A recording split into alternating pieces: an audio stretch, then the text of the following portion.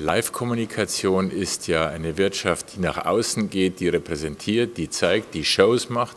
Insofern hat die Veranstaltungsbranche Vorbildcharakter. Insofern hat die Veranstaltungswirtschaft die Chance, uns zu zeigen, wie es geht das Format hilft sehr, sehr stark, das Thema Nachhaltigkeit in eine Branche zu tragen, die bisher leider äh, mit Nachhaltigkeit sehr wenig am Hut hatte, weil diese Branche im wahrsten Sinne des Wortes fliegende Bauten produziert, viel Müll und Abfall produziert.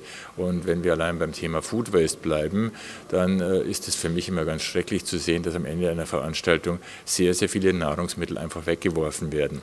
Deswegen ist dieses Format vorbildlich, um in eine Branche Veränderung zu bringen. Die Branche wiederum bringt Veränderung in die Wirtschaft und deswegen ja, weiter so.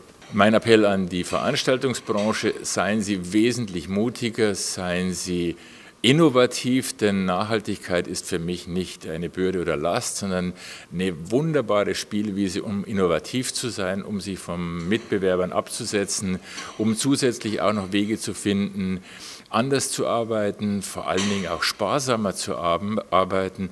Und insofern Nachhaltigkeit ist für mich eine große Herausforderung in Bezug auf Intellekt, in Bezug auf Emotion, auch in Bezug auf Humor.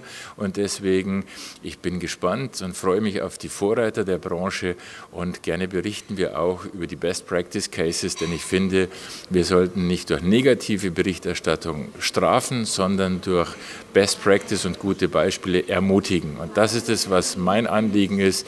Ich möchte Sie gerne ermutigen, in die Zukunft zu gehen und gemeinsam mit uns eine lebenswerte und liebenswerte Zukunft zu schaffen.